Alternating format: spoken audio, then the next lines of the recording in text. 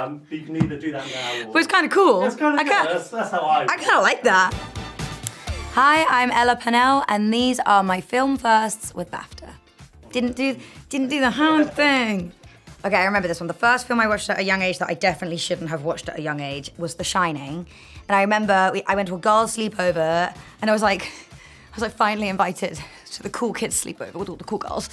Um, and then the cool, really, really cool girl put on The Shining, and all the other cool girls were like watching it, and I was there just like, and I think I was hiding underneath the pillow. And to this day, I cannot watch horror films. I hate horror films. I'm terrified of horror films. I'm scared of them. I can't watch them. I don't like having an unpleasant movie viewing experience. It's, it's not fun for me. I don't like it, and I'm I put that down to watching that film too young. Do you remember anything from the film? Yeah, the bloody twins. It- I can't even like even you know when like you go, you go out for Halloween. There's always the twins. I can't look at them in the eye. It probably seem really rude, but I just can't. My first reaction when I heard Fallout was getting a second series. I think it was something like quite like well it, the actual reveal was a bit anticlimactic. It was like me on the tube, like checking my phone, and it was an email being like really chill, being like Fallout season two picked up. but my reaction being like stopping and being really excited and having no one to tell because I was alone, and then calling my mum. Obviously, is always the first thing I do when I get good news, uh, and being really excited, and then being really nervous. How often on a daily basis are you asked to say okie dokie or just do it naturally? Oh my god, I say okie dokie all the time. I've said it like five times today. These guys can concur. I mean, Today, if that's okay. Okie dokie. So we'll have a discussion around Sweet Pea. I'm saying it. And then Uh, yes. We'll I know. It's, I can't. It's part of me. It just lives in me now. It's part of me. I'm not even going to try and get rid of it. It's not a bad habit to have. Okie dokie. Okie dokie. Oh, the first film I remember seeing ever. I mean, in, uh, I couldn't tell you when, but the uh, Ar- I never know how to say it right. Aristocats, Aristocats, Aristocats, the Aristocats. I love that film. I love the music. I love, I love all the cats. So many other things, but the main thing is the music and the cats. That was the first film. Yeah. Do you have a favourite cat? Like, I'm saying Thomas O'Malley was the best. Oh, a classic. I liked. I've forgotten the name because it's actually been years since I've seen it. But the the white cat, the um, can't remember her name. The kitten, the young one, Marie. How did you? Have you seen this film quite recently? I love the Aristocats. so- You love that. Okay, well, Marie was like my. I wanted to be. If I could be a cat, I would have been Marie, the white little kitten from Aristocats. Sassy and has a bow. Perfect. I think I am sassy and have a bow. maybe that's what I've done. Maybe I've achieved all my dreams just by being sassy. The first film or TV show I was obsessed with. This is probably gonna be somewhat relatable, but um, Totally Spies, uh, which was a TV show on Nickelodeon, potentially. Um, Disney? Don't know. Unsure. Loved it. Obsessed. I hear they're doing a remake. Not sure if it's happening or not, but um, yeah, I loved Totally Spies. I was kind of really obsessed with spies growing up. You're going to see a theme with my next couple of answers.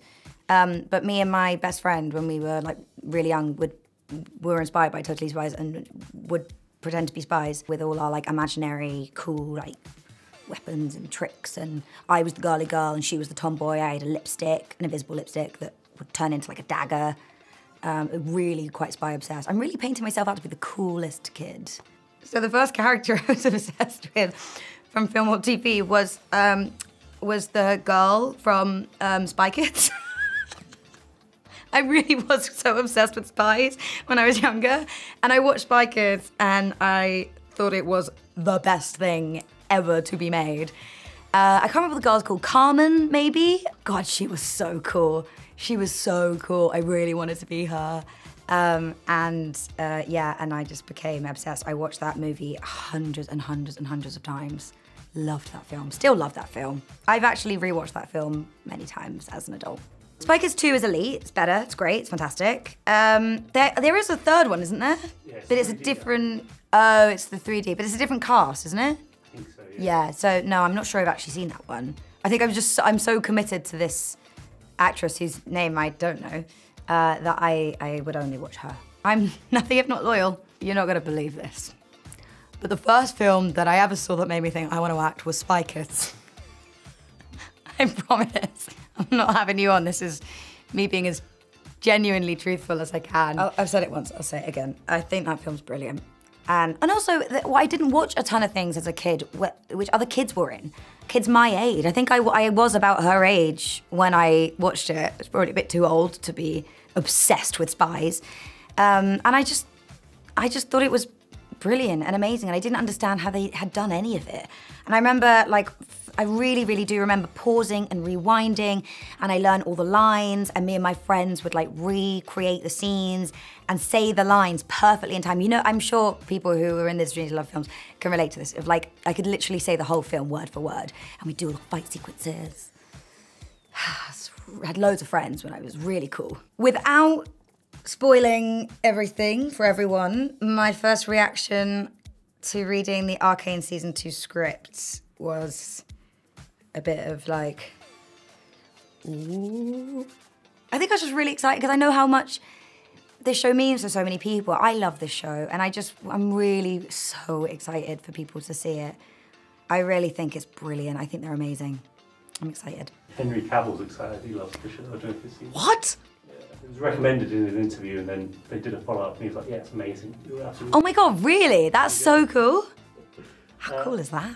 The first thing I ever acted in was a advert for a sweetie called Toffifee, Toffifee, uh, in German, Germany, both. Uh, and I was probably like eight years old.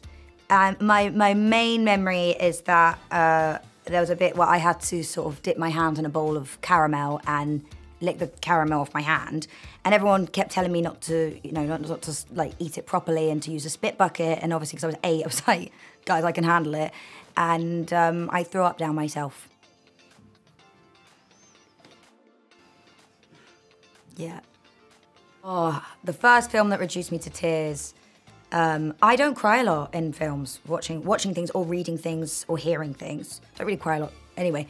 Um, but my sister's keeper I, this is like ingrained in my memory because I was like bawling. I just was bawling. I just couldn't stop crying. Cried my eyes out. I'd also read the book, probably too young to have read the book. Um, yeah, that one's really stuck in there. Incredible, but so sad. God. Yeah. Imagine I was like Kids. just kidding.